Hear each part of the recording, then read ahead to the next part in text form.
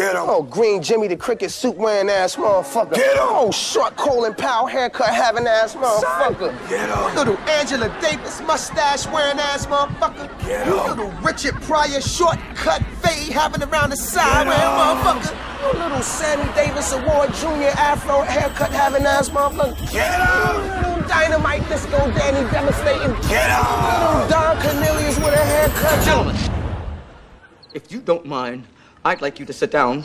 I would like to continue. Excuse me. Excuse me. Watch your toes. Watch the corn. Excuse me.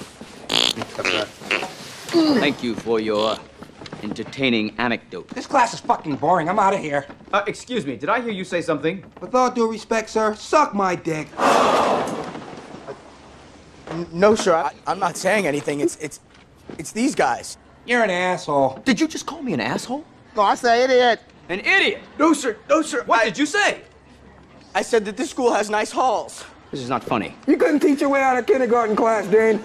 I think we've had enough interruptions for today. I think you should leave. Sir, This would have never have happened if I were black.